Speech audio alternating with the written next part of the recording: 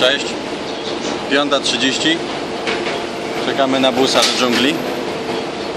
Przyjechaliśmy tu taksówką, bo to ona zgarnęła nas, a nie my ją.